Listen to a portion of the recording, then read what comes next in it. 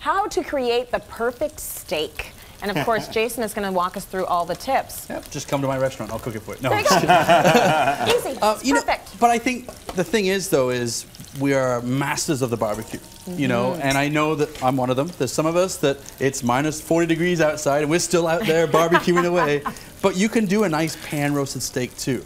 But there are some tips that really are necessary in order to get that nice browning, that nice flavor, and more importantly, you know, it's kind of like the potatoes we were talking earlier. You know, again, when you heat things up, juice will release. You Yeah. know, we do a big roast, we let it rest. We do a turkey, we let it rest. Do we let our steaks rest? Most of us don't. Right. You know, right? We're Yeah, just I know. it's You coming off and you're blood cutting and you're yeah. eating. Yeah. Yeah. So number one, start off with some good meat, like good quality meat. You know, go, get to know your butcher. You know, take him out for dinner or something. I don't know, but uh, just really get to know them. Bring him a bottle of wine. know, But uh, don't get into frozen meat. It's not always the best because when you freeze things, it takes on moisture. When you defrost it, it releases. So when you put it in the pan, it's not going to brown as nice. Right. Okay. But the other thing is, and I always love Julia Child for this one because you first you have to dry off the meat, right? but it's so true. We don't do this. You know, you have to dry the meat off, right? Right? Show Because it some love. yeah, you know, I mean, if you want to, you know, cuddle with it for a while, it's Stop okay. that water. But also, a lot of us will go, okay, oh yeah, I'm getting ready to cook steaks, season it up, and then take off for a bit, come back 10 minutes later. Well, what does salt do? It pulls the moisture out. So again, it's gonna dry your steak out. Right. So what I like to do is just dry it off 1st Uh-huh. and then I've already got one started here, but I take a little bit of grapeseed oil, Sounds good, doesn't it? and I put the That's oil in the pan and bring the heat up. I don't heat the pan and Oh, then throw the oil in. Okay? Because the pan's really hot, you don't know it's hot, you put the oil in, Splash. You got smoke detectors going off. Right. Okay?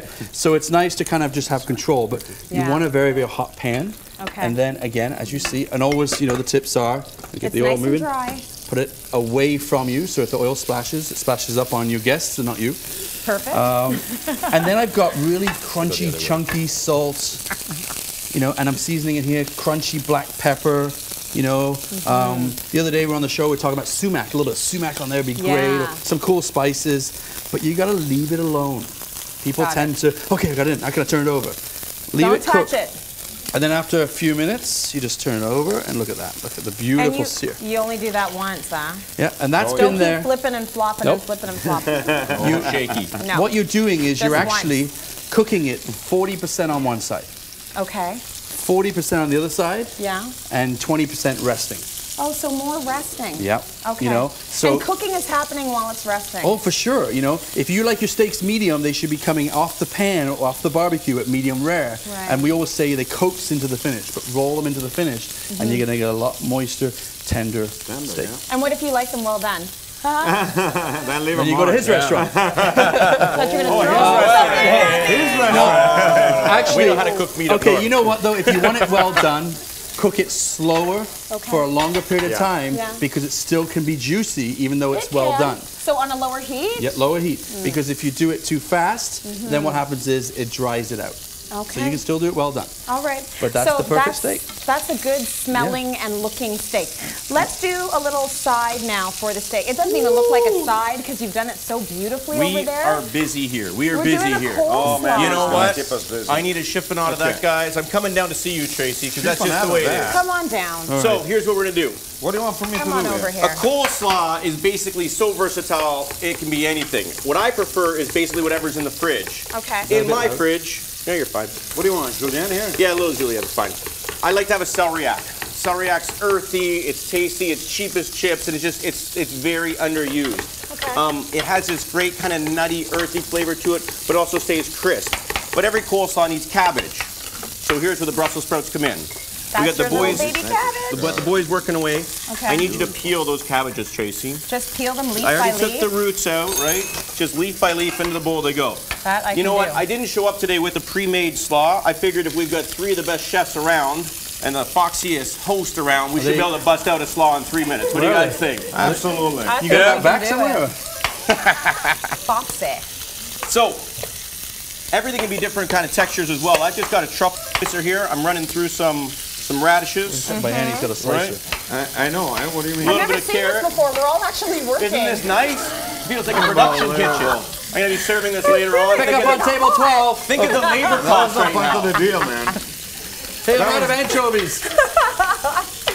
Okay, you guys so are looking good doing it. You, what, like you can put you can put pretty much anything You can put want anything in your, into uh, it. in your but coleslaw. as we were saying earlier, it's January, Yeah. so there's no such thing as mayonnaise in January. no, not Everyone's allowed. on their diet, everyone's doing things, and this is where we come up with the aromatics. Yeah. So now it's time, everybody, I'll just take it in here, yeah? Give me a community bowl.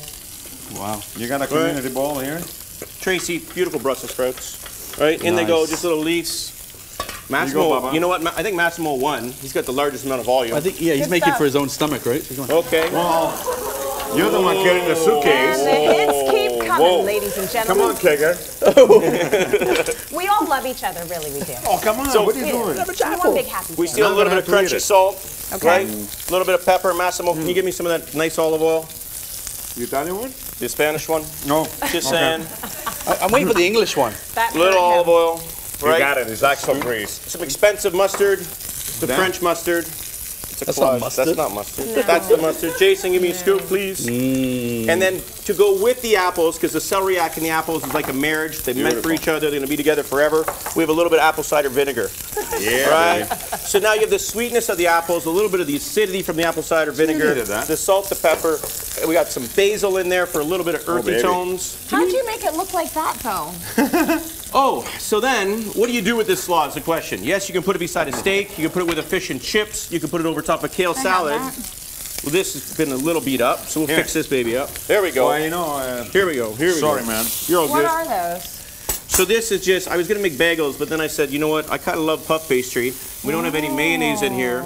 So why don't we put some really healthy smoked salmon on there, right? That's smart. A little bit of this celeriac apple slaw. Mm-hmm. We call that a smoked salmon puff pastry and Oh, apple beautiful. slaw slider. Oh my gosh, that was such what? a good idea. Just happened. it went from a side dish to a main Somebody was saying they needed to go for lunch. I right there. think it's some time steak for on lunch. We could put steak Cityline.ca on that. people, brilliant.